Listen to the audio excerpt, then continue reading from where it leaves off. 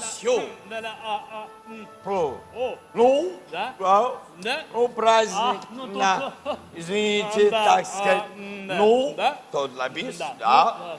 Ну, мы не придем, ну. Да, да, еще. Ну, тут так, да.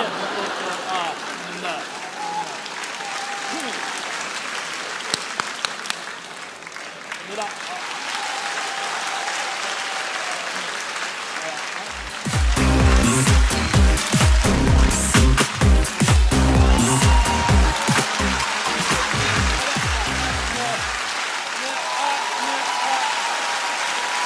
Yıllar, yıllar çıkıp bunun yüzünden layıkla ve yüzüyle nonun emrini galiba.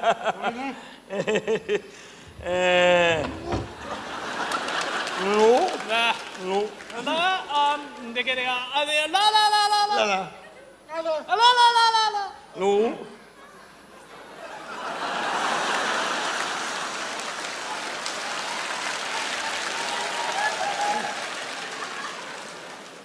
Oh, um, dois.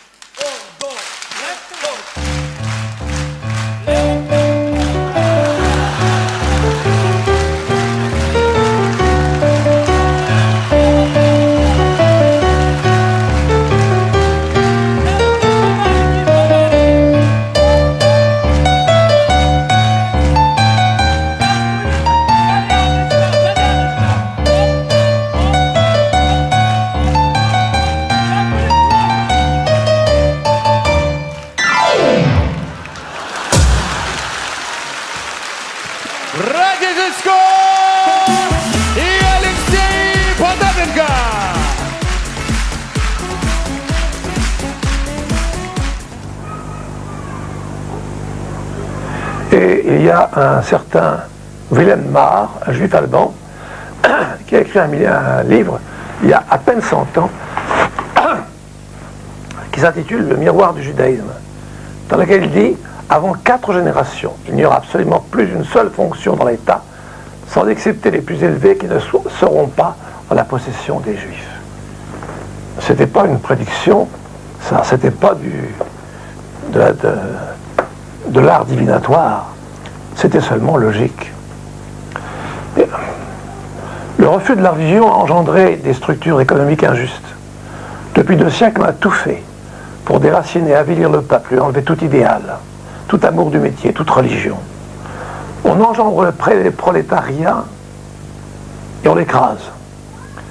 Bétail mondial voué à la boucherie de 14-18 et de 39-45 et aux 150 guerres qui ont suivi entre le système libéral et l'idéologie marxiste. Elle rapporte d'immenses fortunes aux financiers qui mènent le monde, au Basil Zaharov, au bloc du Dassault, au Rothschild, au Warburg, au Hammer, consorts. Il n'est pas d'exemple dans l'histoire de l'humanité d'une plus profonde déshumanisation. La chute de l'Empire romain semble un petit détail à côté de cet effondrement mondial où l'homme, isolé de toute attache naturelle et surnaturelle, est livré comme une épave rentabilisante et pornographiable à merci à la démence universelle. L'homme a perdu tout pouvoir de s'adapter au réel. La domination des circoncis au huitième jour est définitive. Nous aurons le nouvel ordre mondial, c'est-à-dire l'organisation sans faille du chaos universel. Yes, that uh, dwelling space for several hundred thousand of our people could easily be provided. Well, I, I would hate to have to decide who stays up and who goes down. Well, uh, that would not be necessary, Mr. President. Could easily be accomplished with a computer. And the computer could be set and programmed to accept factors from youth, health, sexual fertility, intelligence, and a cross section of necessary skills. Of course, it would be absolutely vital that our top government and military men be included to foster and impart the required principles of leadership and tradition.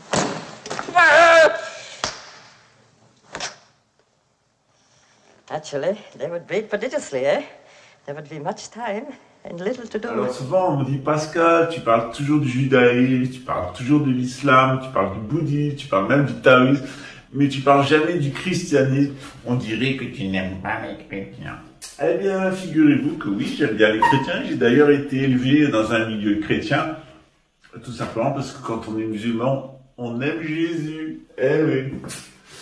Euh, donc tout à l'heure, euh, dans la vidéo que vous avez peut-être vue, qui en fait c'est enregistré, donc c'est la vidéo d'hier pour vous, je vous ai dit que, eh bien, souvent, euh, les êtres qui étaient enfermés dans leurs cinq sens, qui développaient de l'ego, et qui n'étaient pas capables d'arriver au septième sens, c'est-à-dire à développer de l'intellect, et l'intellect, on le développe que par l'initiation, initiation et l'étude de la gnose, c'est-à-dire la connaissance de soi et la connaissance du monde, de l'univers et des dieux qui l'habitent, eh bien, si on reste enfermé dans ces cinq sens, la vie en avant s'enferme dans la descendance, et puis on va s'enfermer surtout dans son ego, c'est-à-dire moi je, hein, c'est l'autre il a tout réalisé. Gavan Seiler est mort, mais euh, Jabba est arrivé vous apporter la connaissance, il est l'homme de lumière. Alors, s'il a une initiation et qu'il a reçu la gnose, il n'y a pas de problème, ça s'appelle de l'intellect, mais il n'a pas reçu d'initiation, il a juste lu Babylone Décodide. Euh, donc, il répète comme un perroquet parce qu'il est stupide. Voilà. Et que le problème des gens qui restent enfermés dans leurs cinq sens, dans leur sixième sens, qui n'ont ni l'intellect ni l'initiation, eh bien, ils vont fonctionner selon ce que je vous ai indiqué ici, c'est-à-dire le triangle anarchiste. Vous allez voir comment il fonctionne.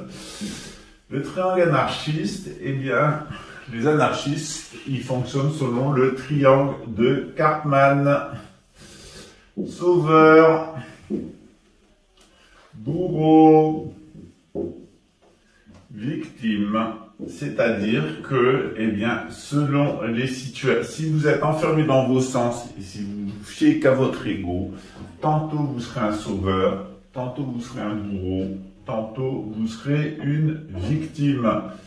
Il n'y a pas le choix, vous allez tourner euh, de l'un à l'autre. Et quand on étudie la gnose, eh bien, euh, qu'on arrive à euh, effacer hein, l'emprise des sens, donc on va effacer l'emprise des sens, on va plus être des êtres sensoriels, dominés par leur bite, euh, leur petit manège intérieur, puis euh, leur ego, et puis leur volonté de bouffer autrui. Quand on va étudier la gnose, une, un des, une des premières choses qu'on s'aperçoit dans la gnose, c'est que, eh bien, dans le bouddhisme, on avait déjà expliqué le triangle de Karman. Voilà. Alors, euh, ce triangle de Karman, il oppose, eh bien, il dit que tour à tour dans la vie, on passe par une séquence de sauveurs, bourreaux et victimes. Et quand on y regarde de près, ben, on va retrouver les diagrammes, le sauveur type 2, euh, type 8, on va mettre le bourreau ici, c'est plus simple. Voilà. Bourreau et victime. Et vous allez retrouver dans le bourreau le type 8, le chef, et dans la victime le type 5, le mentaliste. Voilà. Et vous allez voir que souvent, entre le sauveur euh, que nous sommes et la victime que nous sommes, eh bien, on va souvent on euh, déjà, euh, souvent, on veut sauver les gens, on demande bien de quoi, et qu'on va rencontrer, eh bien, euh, deux obstacles. Le premier, c'est qu'on va vouloir réussir à tout prix à les sauver, c'est la réussite. Et ensuite, eh bien, qu'on va vivre, euh, pas comme on le pense, la tragico-comédie. Et que sur la base de, ben, de tout ce qu'on a réalisé, en se plaçant en tant que victime de la vie, hein, etc., eh bien, on va développer le type mentaliste, c'est-à-dire qu'on va s'enfermer dans son mental. Ce que je vous disais tout à l'heure, on s'enferme dans son sixième sens. C'est le sens intérieur ou sens de l'ego. Voilà, moi, je. C'est ce que le bouddhisme appelle l'individualité psychophysique. Et puis évidemment, une fois qu'on s'est enfermé dans son mental, eh bien, on va essayer d'être loyal, on va essayer de trouver ça euh, divertissant. Hein. Vous allez retrouver deux autres égotypes, le loyaliste, eh bien, qui est le type 6, et le clown, qui est le, comique, qui est le type 7, 8. Et puis vous allez voir qu'entre euh, le bourreau et le sauveur, eh bien, le bourreau... euh, euh, il s'aperçoit que, eh bien, euh, c'est pas toujours marrant d'être un bourreau. De temps en temps, on peut pas toujours être en guerre. Donc, vous allez trouver le pacifique ou pacifiste, le type 9. Et puis le 1, le perfectionniste. Voilà. Donc, vous voyez bien qu'à la base du triangle de Karpman, vous allez retrouver, eh bien, l'énéagramme avec les énéatypes. Voilà.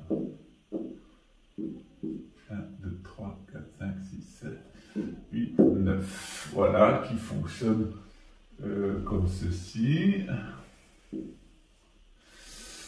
Euh,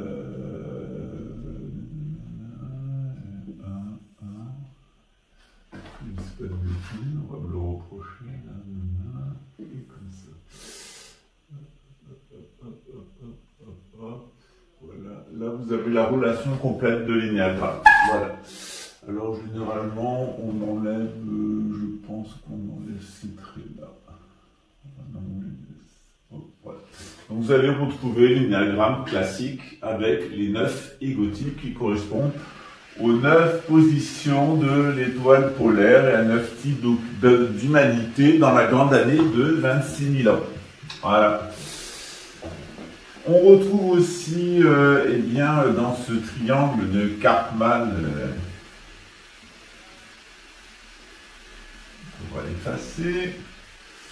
Souvenez-vous qu'on a affaire, quand on est dirigé par son ego, on va se comporter ou comme un bourreau, c'est-à-dire qu'on prend le dessus, ou comme un sauveur, on essaye de s'interposer, ou comme une victime. Hein, on n'aime pas être victime, on n'aime pas être bourreau, être sauveur, euh, ça dépense de l'énergie. Voilà, donc on essaye toujours eh bien, de se trouver euh, à une distance entre tout ça. Alors comment euh, le bouddhisme analyse ça? Eh bien, Le bouddhisme nous dit que euh, en réalité, eh bien, quelqu'un qui est animé par son désir, ça sera toujours quelqu'un qui sera en situation de bourreau. hein. Quelqu'un qui est animé par l'aversion, il sera toujours en situation de sauveur. Et quelqu'un qui est en situation de victime, c'est quelqu'un qui ignore forcément un des éléments euh, de l'équation. C'est ce que le Bouddha a représenté ici. Donc ça, c'est une représentation qu'on doit avoir dans tous les centres bouddhistes et qu'on doit être capable d'expliquer dans le détail. Si votre lama n'est pas capable de vous expliquer tout ça dans le sens du samsara et dans le sens du nirvana, c'est que c'est pas un lama, c'est un imposteur, c'est un guignol religieux, mais c'est pas un enseignant spirituel. Donc le Bouddha nous explique ici avec les trois animaux sacrés au centre, eh bien comment ça fonctionne. Alors comment sortir euh, de ces séquences infernales? Comment sortir euh, de cet enfermement eh bien dans systématiquement euh, comment sortir de l'ignorance qui fait qu'on vient quand on est ignorant on est tout le temps une victime comment sortir de l'aversion euh, où on va toujours essayer de se sauver, on va essayer de, de sauver les autres. Comment sortir du désir qui nous transforme en véritable bourreau appropriateur? Eh bien, c'est la gnose. Donc ici au centre, on a un état qui est l'état de connaissance. Connaissance. Connaissance.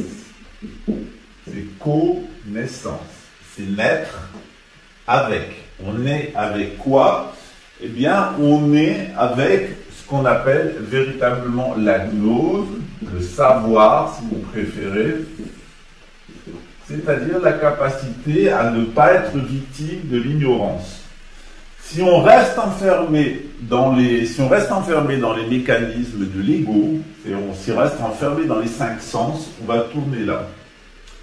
Si on reste enfermé dans les mécanismes de l'ego, on va tourner tout autour. Tantôt on va être un sauveur, tantôt on va être une victime, tantôt on va être un bourreau. Alors on essaye d'être plus souvent un bourreau plutôt qu'une victime ou un sauveur.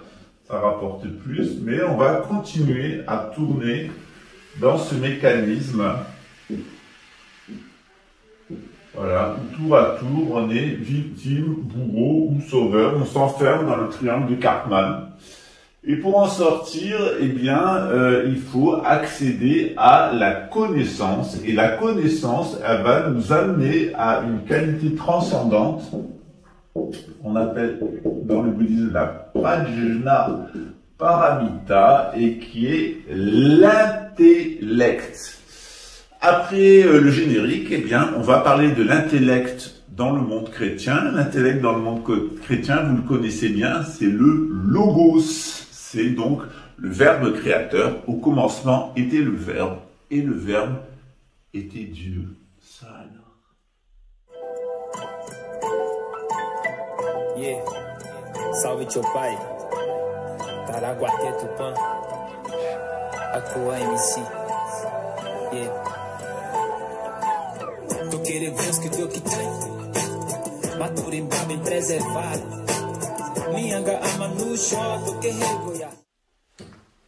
J'ai fait une vidéo sur euh, René Guénon, le règne de la quantité, les signes des temps et la crise du monde moderne.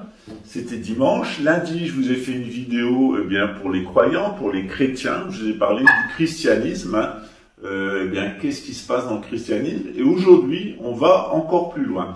Encore plus loin dans la compréhension de qui est Jésus.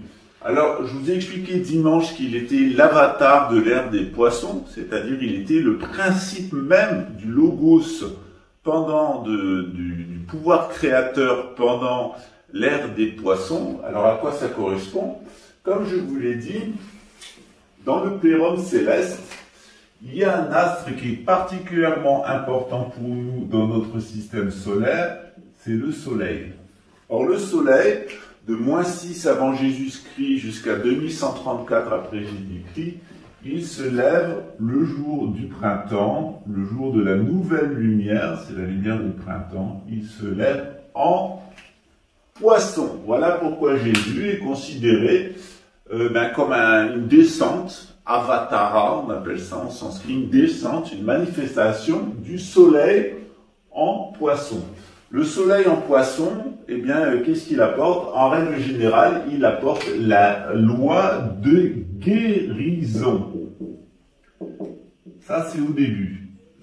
Et à la fin, ce soleil va complètement, complètement se dégrader et va se manifester en son contraire qui est l'intoxication.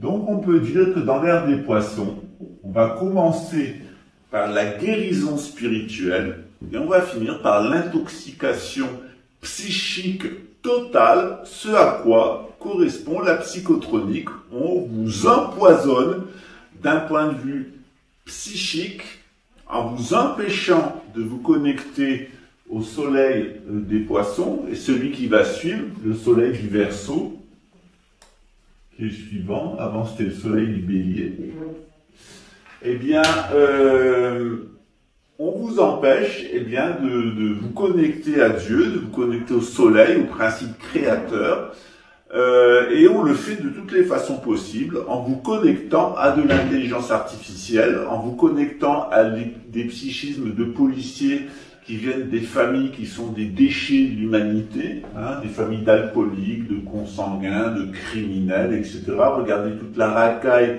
qui vous dirige partout dans le monde. Faites des recherches, vous allez voir de quelle famille ils viennent. Je peux vous assurer que c'est gratiné. Cherchez euh, les ancêtres du préfet l'allemand, les ancêtres du préfet Witowski, les ancêtres du préfet Mérignac. Non, lui, il a été assassiné. Mais regardez en, général, en règle générale qui la République prend comme préfet. Vous allez voir euh, où ils sont allés les chercher. C'est c'est comme dans les visiteurs, c'est Jacques-Henri Jacquat, c'est Jacouille la fripouille derrière. hein. Voilà. Donc, qu'est-ce qu'on nous dit dans le christianisme? Eh bien, on nous dit que le prince sauveur de l'ère du poisson, on nous dit qu'il y a un nouveau messie hein, qui va arriver ici dans l'ère des Verseaux, c'est le Christ du retour, qui viendra dans la gloire pour juger les vivants et les morts. Hein.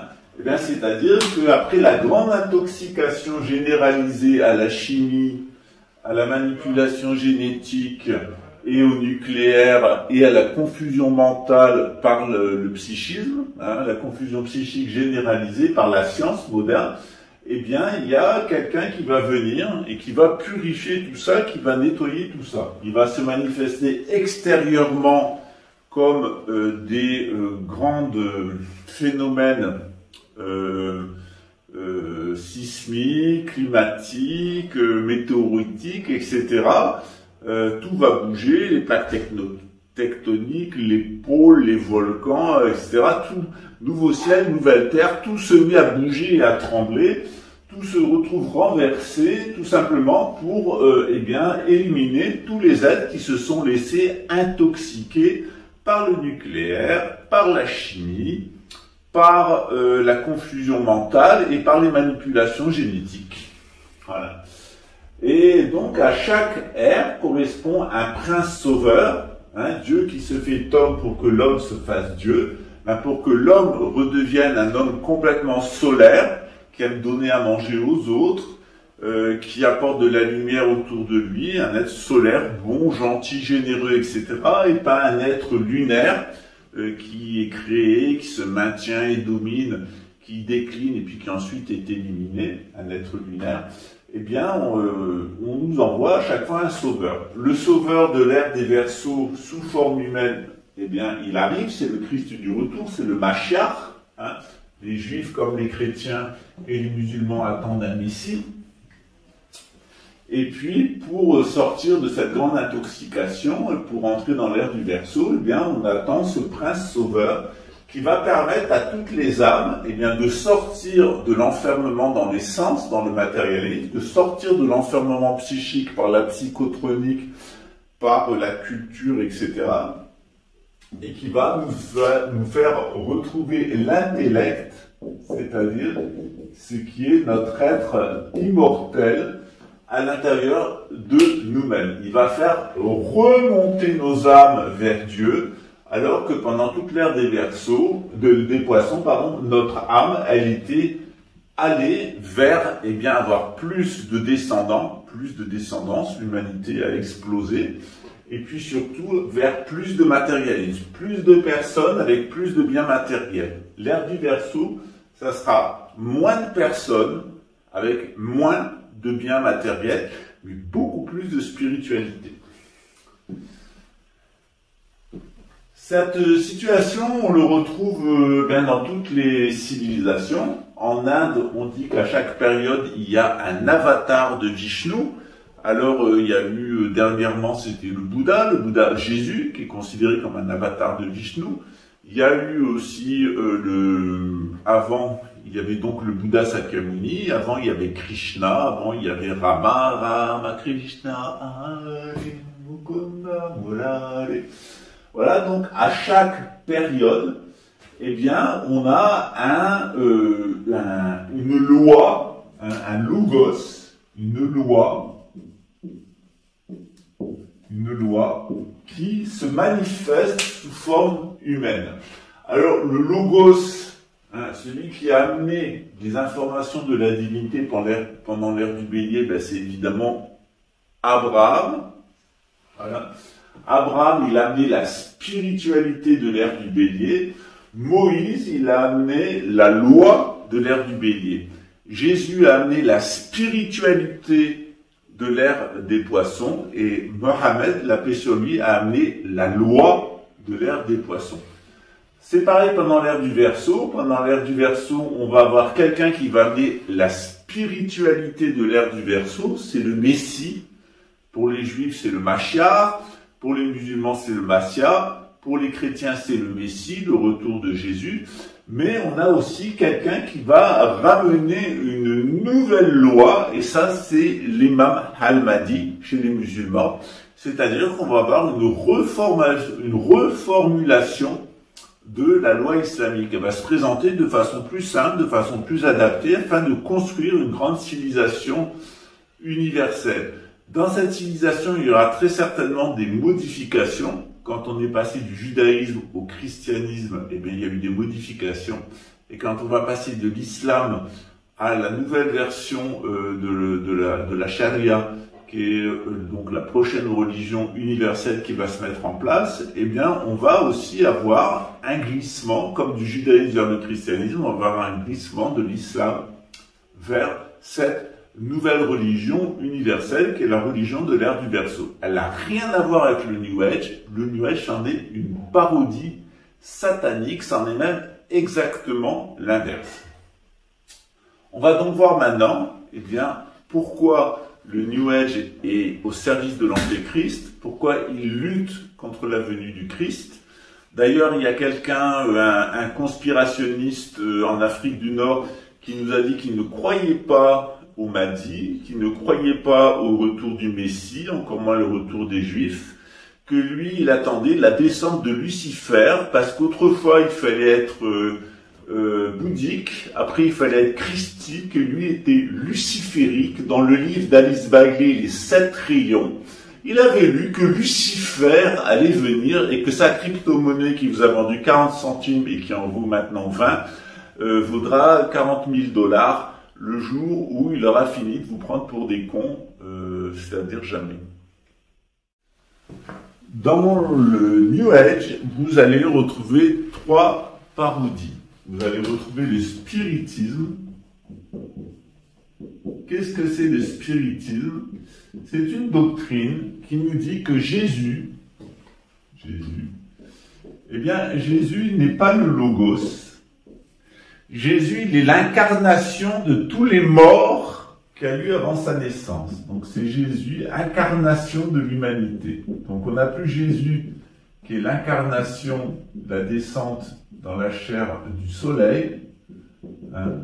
On a un Jésus qui devient lunaire, un Jésus ancestral. Donc le Jésus solaire, salut, on a un Jésus qui est en réalité un anti-Jésus, qui est plutôt, euh, eh bien, en réalité, euh, Judas. En réalité, qui était l'ennemi de Jésus. Voilà, donc euh, le spiritisme, c'est le remplacement de Jésus en tant que principe solaire, en tant que logos, par euh, Judas euh, et le principe lunaire, c'est-à-dire, eh bien, les esprits. Hein, c'est ce qu'ils appellent, c'est ce qu'Alan Kardec appelle les esprits, le monde des esprits, et il nous dit que ces esprits, ils se réincarnent, hein, réincarnation, ce qui est une hérésie euh, totale. Hein. Vous voyez bien que le spiritisme, c'est la haine totale du christianisme. Le spiritisme, c'est la porte d'entrée euh, de l'antisémitisme, c'est la porte d'entrée de la déchristianisation, et c'est d'ailleurs l'outil qu'utilisera l'antéchrist. Amazon a inventé dernièrement une petite boîte qui s'appelle Alice, je crois, Alicia, la lumière, Lucifer. Et cette petite boîte, Alice ou Alicia, eh bien, euh, elle enregistre la voix de vos défunts et puis elle va communiquer avec vos enfants comme si c'était des parents qui parlaient depuis l'au-delà avec toute leur structure de vocabulaire, leur intonation, leur voix, etc. C'est la grande parodie finale de l'imposture spirite qui avait d'ailleurs été annoncée dans l'islam. D'où l'interdiction du spiritisme dans les religions du livre. Puis on a la théosophie. Alors ça, la théosophie, c'est un monument aussi, qui est une parodie de l'hindouisme et du bouddhisme. Alors, dans cette euh, parodie de l'hindouisme et du bouddhisme, bien sûr, on va retrouver toutes les imbécilités du spiritisme, hein, la réincarnation, euh, les esprits, le Jésus, euh, le christique, hein, voilà. Sauf que ils, vont vous en rajouter une couche avec ce qu'ils appellent les maîtres ascensionnés. Alors, maître clarinette, euh, etc., les maîtres ascensionnés. Alors ils n'ont jamais existé sauf que dans la tête de Alice Bailey et de Rudolf Steiner, des escrocs patentés. Et ces gens-là qui n'ont jamais reçu aucune initiation, ainsi euh, euh, Blavatsky a reçu une contre-initiation. Elle a reçu une contre-initiation à la magie noire en Égypte, dans le cadre du, des cimetières du Caire. C'est ce qu'on appelle en euh, Égypte, en arabe, le, le cirque. Cirque. C'est un cirque. Hein.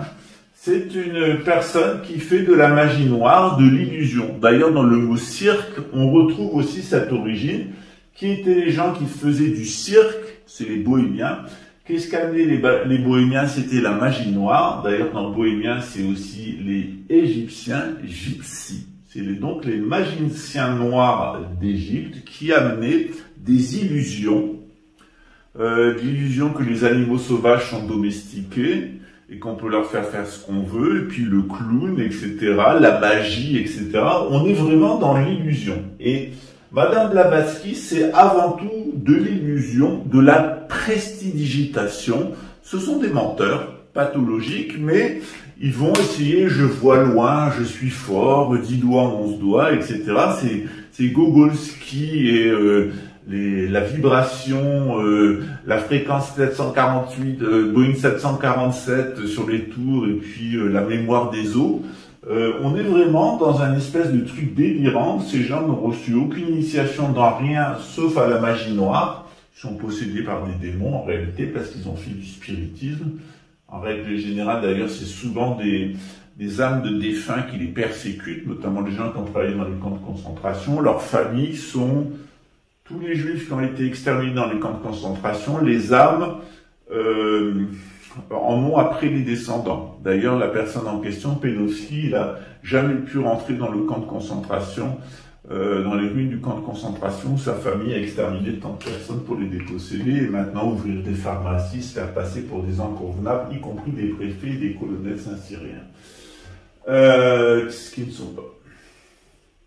Donc, euh, c'est maître ascensionné, cette magie noire avec tous les, c'est ce qu'on appelle euh, les, les petites facultés opératives.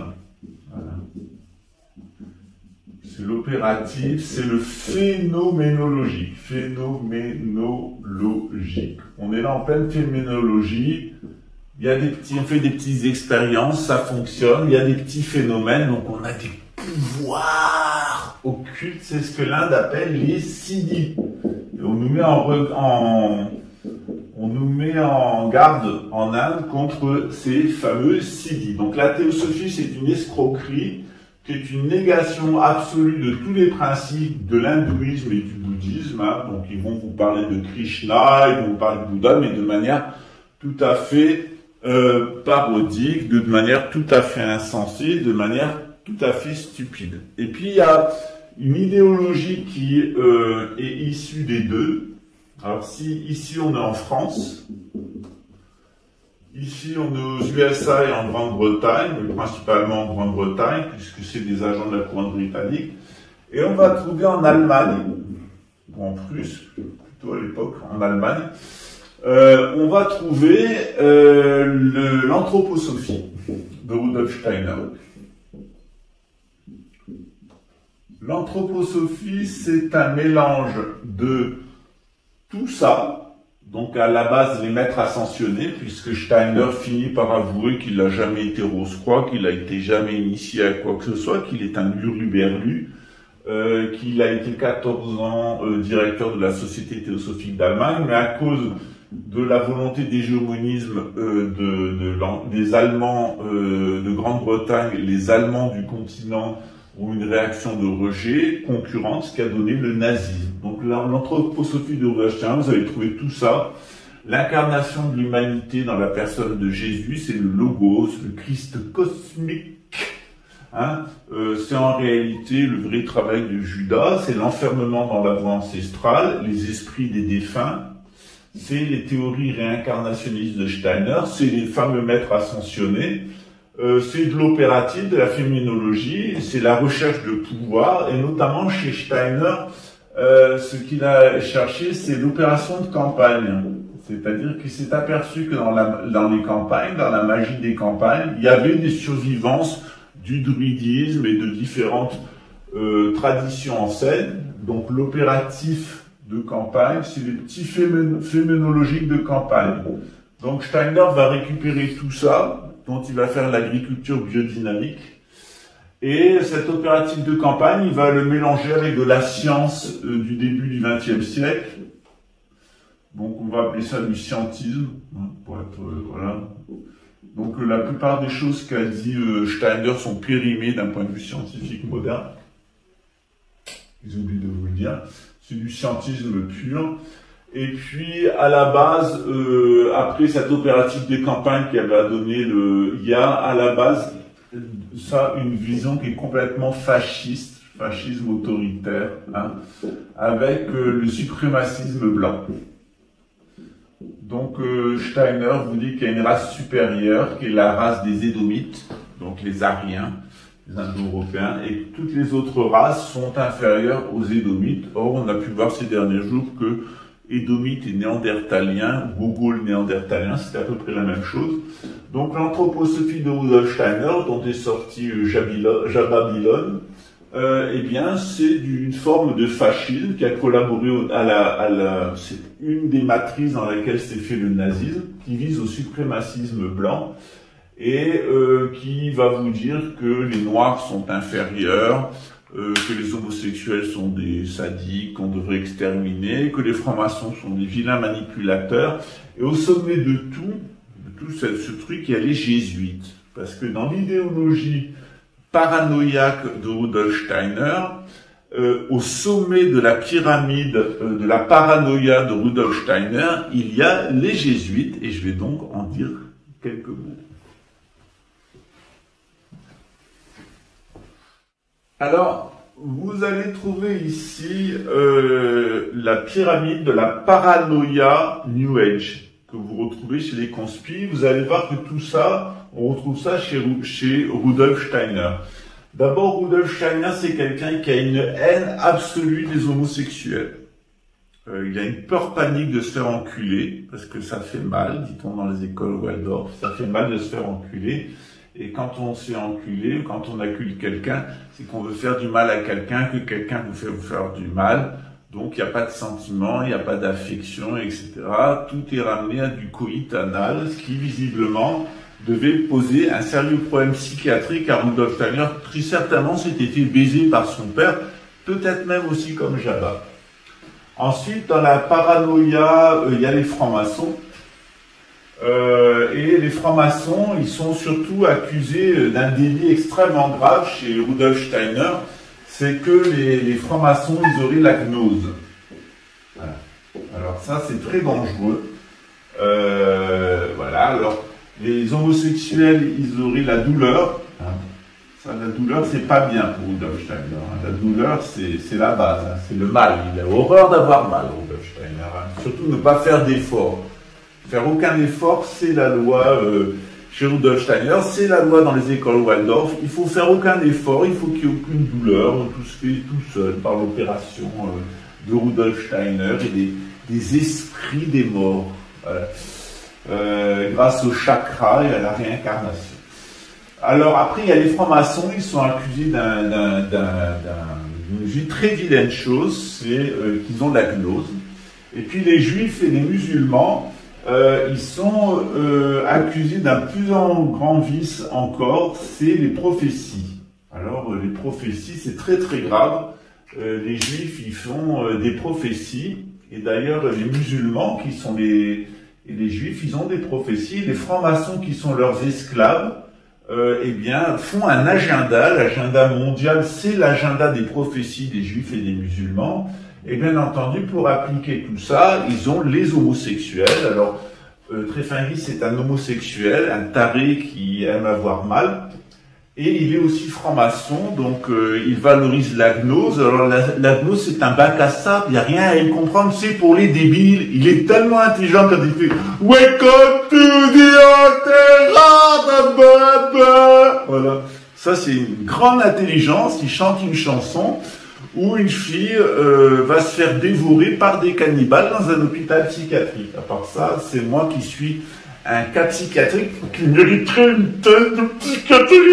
J'étais ça, le vieux pédophile aux lèvres pincées avec sa grosse gueule de néandertalien débile. Voilà. Donc il y a les juifs, les musulmans, c'est des vilains, ils ont des prophéties. Et tout à fait en haut, le mal du mal, du mal absolu, c'est les vilains jésuites qui contrôlent le Vatican. hein, et qui obligeaient les pauvres Suisses à les protéger. Les pauvres Suisses, hein, ils étaient obligés d'aller protéger les jésuites du Vatican. Donc là, vous avez la cascade de la paranoïa steinerienne. Donc en haut, il y a les jésuites. hein. Ensuite, il y a les juifs et les musulmans avec leurs vilaines prophéties. Ensuite, il y a les francs-maçons avec leur gnose qui ne veut rien dire, qui est un bac à sable, y a ces vilains homosexuels qui sont dans la douleur. Voilà. Et ce dispositif-là, vous l'avez retrouvé chez euh, Jabba de Babylone Décodide, et il vous l'a dit sur ma chaîne, euh, les homosexuels, c'est des gens qui veulent faire du mal aux autres et qui aiment avoir mal.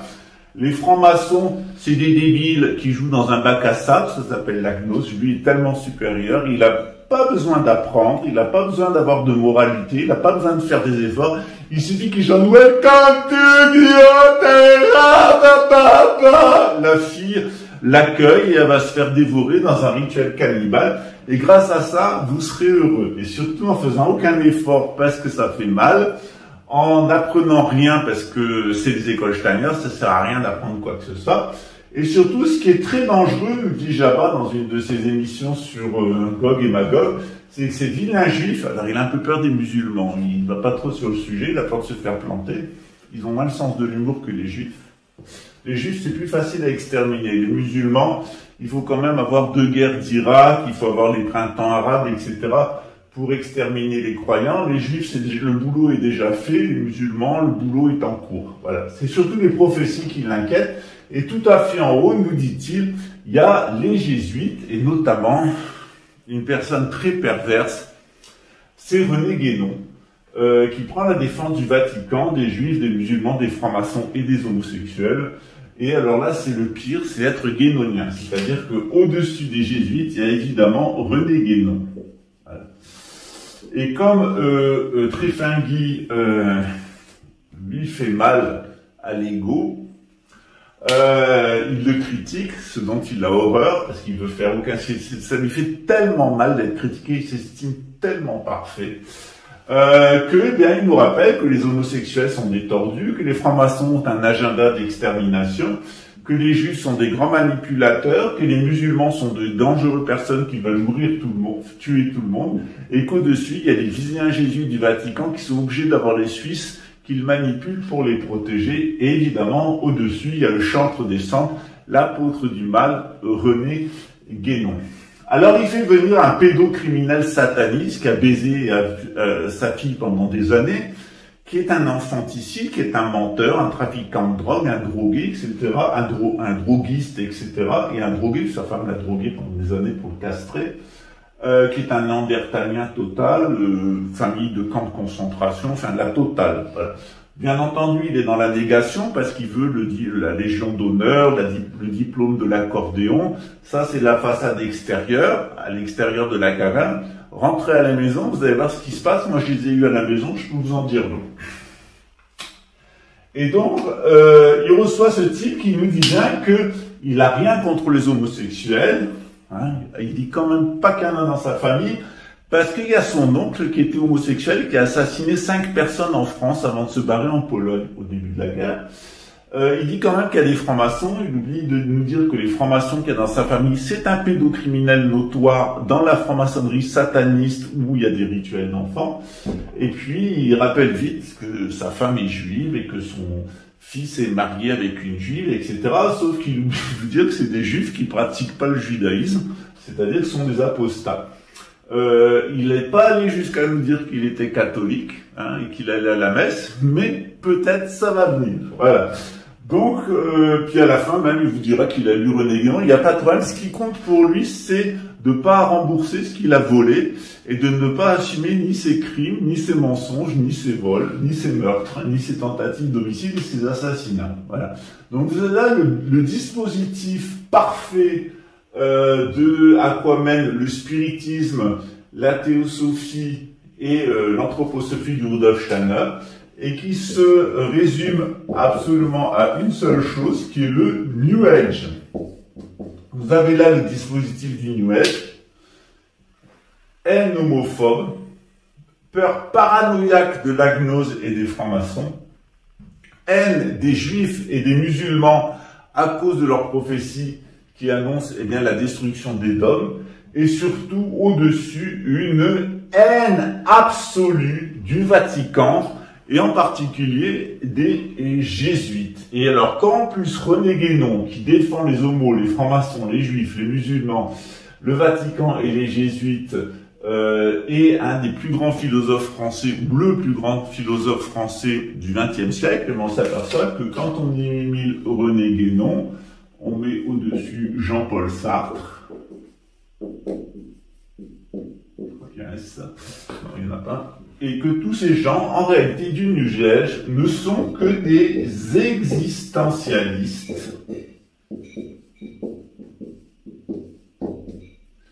C'est de l'existentialisme. Voilà. Et l'existentialisme, c'est l'idéologie de base qui a justifié le nazisme, le bolchevisme et le nouvel ordre mondial. Donc, j'aurai l'occasion de revenir et de vous parler de Boris Vian, de Jean Solpartre, de Marguerite Beauvoir et de bien d'autres dégénérés du système New Age qui vous dirige. Méfiez-vous des gens qui vous disent que la religion est liberticide, qu'elle est un enfer, qu'elle est un esclavage et que votre ego, c'est la liberté. C'est ce que pense un enfant dans un bac à sable. Euh, il pense qu'il peut tout faire, il pense qu'il est libre de tout, mais il reste dans un bac à sable. Les véritables adultes, eux, ils cherchent le salut, ils cherchent la délivrance et ils reçoivent l'initiation. Les guignols, eh bien, ils continuent leur cirque. Welcome to the ba. Such a stupid man, stop a stupid man, stop a stupid man. Bien entendu, euh, toute euh, ressemblance euh, avec un imbécile qui a reçu un pédocriminel satanique venant des milieux apostats euh, du judaïsme comme lui. Euh, des milieux pédocriminels euh, comme lui, mais en plus infanticides, peut-être même comme lui aussi. Ça reste à démontrer, mais pourquoi pas. La piste se suit, eh bien, serait absolument involontaire et sans euh, arrière-pensée. Ciao.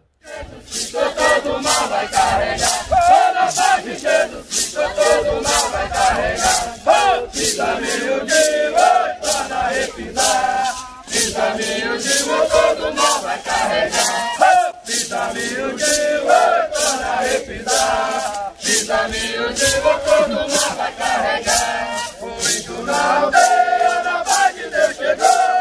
O indo na aldeia, na paz de Deus chegou. Foi na paz de Jesus Cristo, todo mal vai carregar. Foi na paz de Jesus Cristo, todo mal vai carregar. Pisa meu Deus, vai na repisar. Pisa meu Deus, todo mal vai carregar. Pisa meu Deus, tá na repisar. Pisa meu Deus, todo mal vai carregar. Là, c'est un guerrier qui est en train de recevoir une voiture traditionnelle. Il a eu un rêve cette nuit. Le vent a soufflé. Et donc, ça lui a inspiré euh, un dessin traduit. Il correspond à l'esprit du moment.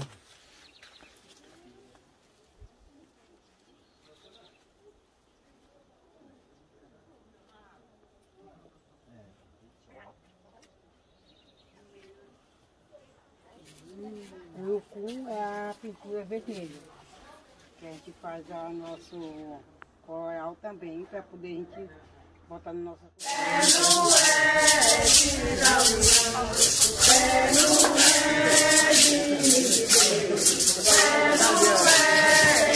Passa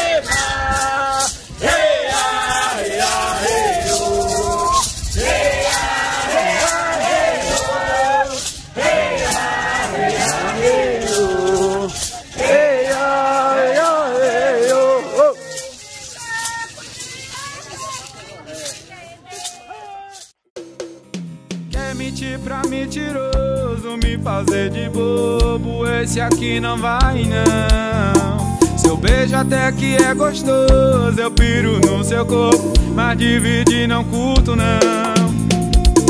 Eu nasci, ontem foi, faz meu chá de fralda aí. Chego no banco da frente, beijinho no rosto pra se despedir. Tá de brincadeira comigo. Esse carro nunca foi de aplicativo. Mas você pensa que me engana, pensa que me ilude. A Lux Prata nunca foi Uber. Você pensa que me engana, pensa que me ilude. A Lux Prata nunca foi Uber. Vem.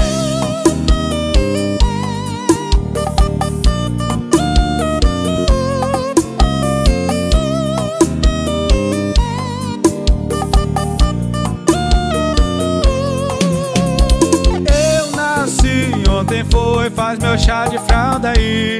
Chego no banco da frente, beijinho no rosto pra se despedir. Tá de brincadeira comigo. Esse carro nunca foi de aplicativo. Mas você pensa que me engana, pensa que me ilude. A Lux Prata nunca foi Uber. Você pensa que me engana, pensa que me ilude.